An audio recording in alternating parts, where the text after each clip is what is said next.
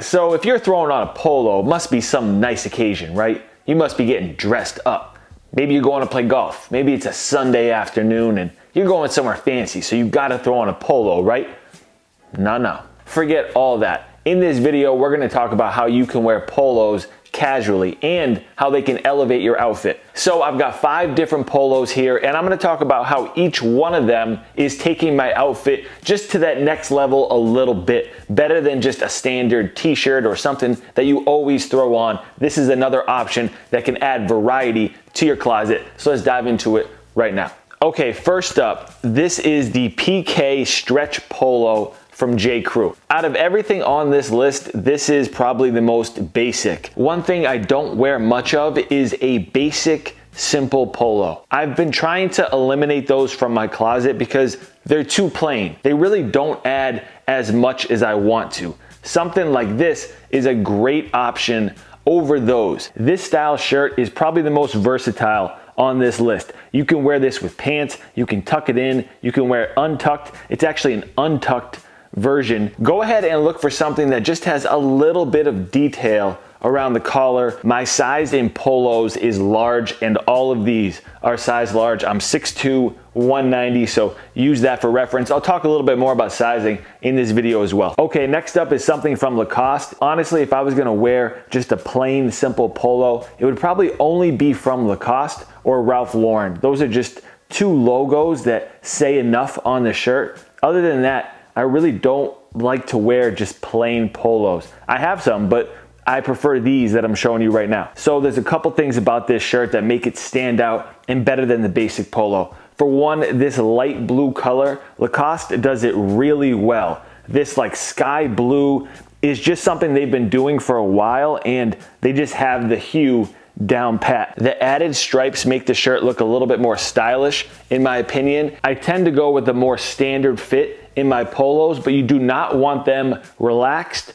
or baggy. They have to hug your arm in the correct way and be somewhat slim fitting. I'll talk about that even more in this video. I gotta keep it moving. Okay, next up, my favorite shirt on this list. This is a stretch piqué polo from J. Crew. There's something about this polo that has that throwback vibe to it. I don't know if it's the off-white color or the way that the stripes are done. This is such a classy shirt that you can style in a laid back, relaxed way. So this one is so comfortable, I don't wear an undershirt and that's all your personal preference.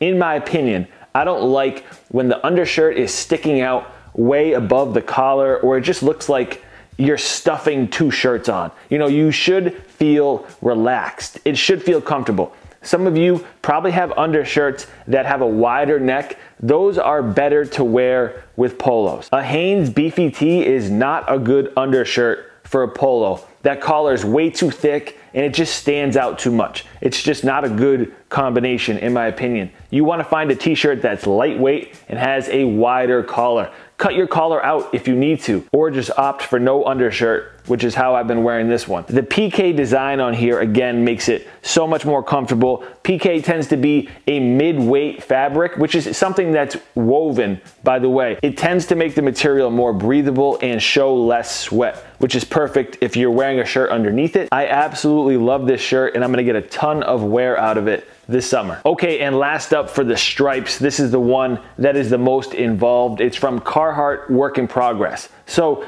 don't just look at Lacoste, J. Crew, Ralph Lauren. Your favorite streetwear brand probably makes a polo and it's totally fine to go ahead and pick those up. Certainly, you know, I let the brand kind of drive the ship as far as how my outfit's gonna look when I'm wearing it. So I'm not gonna dress up a Carhartt work in progress polo. I'm gonna dress it down. I'm gonna wear it just like I would wear one of their t-shirts. I'll wear this with mesh shorts, no problem. High cut white socks and some sneakers or even slides. It doesn't matter. Like you can really dress shirts like this down. This is their Oakland short sleeve polo. By the way, it's also done in this Gucci colorway. You really cannot ignore the fact that it looks like a Gucci polo. I'm sure it's inspired by that. I don't mind. And as far as the stripe placement, there's a lot of them. Maybe this isn't your style, so you go with something like this where it's a little bit more separated out, but a lot of polos you're gonna find have stripes just like this. Add some variety in the stripes. Not all stripe polos are the same. Clearly, I pretty much just showed you four different ones. So take that into consideration when you're shopping for polos and definitely don't write off your favorite streetwear brands for these type of shirts. Okay, and then last up, I got something from Ralph Lauren. This is an all over nautical print polo.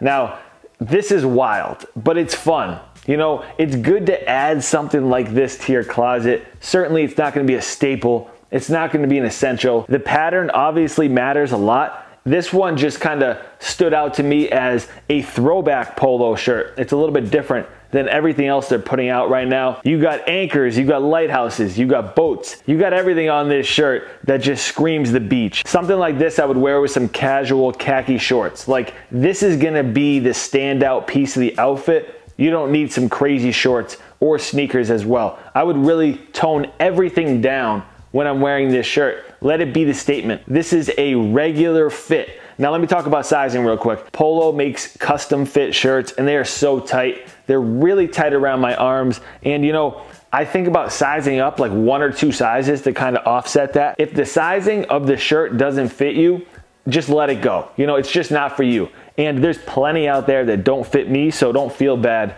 if you don't fit into a shirt or something's too big or too small for you, just go to a different brand. There is one that's gonna fit you out there. And when you do find it, just buy it in multiple colors and styles. For some reason, they don't make a ton of classic fit shirts, but they really should. I bought this one in store absolutely love it. So let me know down in the comment section what style polo shirts you like to wear. I'm telling you, broaden your horizons a little bit, step outside a t-shirt or a tank top. You can certainly elevate your style with a polo, so don't overlook them. Make sure you hit that thumbs up if you enjoyed this video, subscribe if you're new, and then follow me on Twitter and Instagram. As always, thank you guys for tuning into this one. I have a lot more content on the way. Go check out some of my older videos if you missed them. I'll catch you next time.